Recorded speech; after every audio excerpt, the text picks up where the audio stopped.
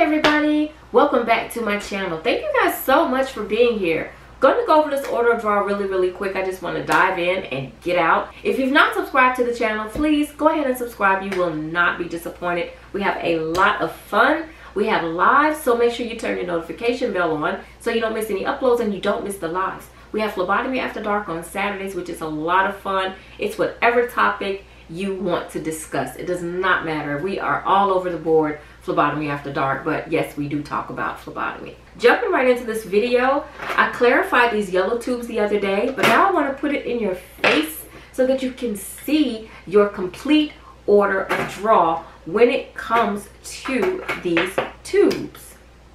Let me fix this because i don't have enough room for all of the tubes. Okay. This my friends, is your order of draw. Yes, microbiology comes first. If you have labels and you've gone upstairs and you're like looking at your labels and you realize you have micro, put them first. Draw your blood cultures first. Blood cultures are first. Any tubes that are going to microbiology are first. You don't have to entertain that thought when it comes to your tubes. Get your microbiology labels out of your stack if you have a stack oh my gosh we used to have labels. We don't have labels anymore. Everything is computerized. Whatever you see that's going to be microbiology or for microbiology get it in your head read it. Blood cultures i need a set of blood cultures. I need a fungal tube i need a fungal tube. You're putting them down because they're first. Do them get them out of the way. Remember put it in your thinking cap. Microbiology is first. Inoculate your blue top tube then your purple top tube draw your isolator tube. If there's anything else for micro blood-wise, draw it. That part of the draw is done. Then you're on to basics. Now, we have our blue, our red, our gold, our green, our lavender, and our gray.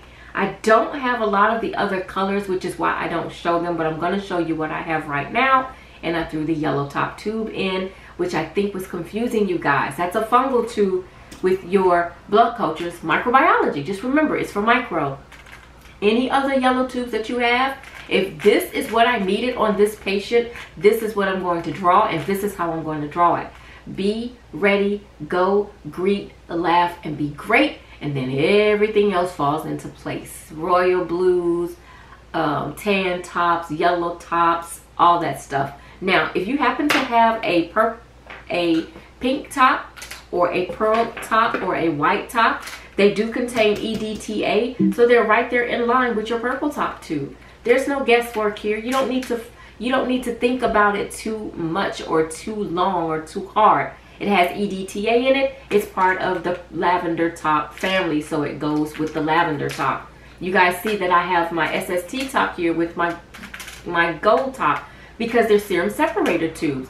It's the same. If I need a gold top and a serum separator 10 ml speckle top, I'm going to collect it when I collect my gold top.